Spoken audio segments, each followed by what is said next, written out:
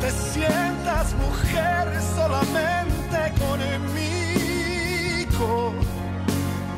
Hoy tengo ganas de ti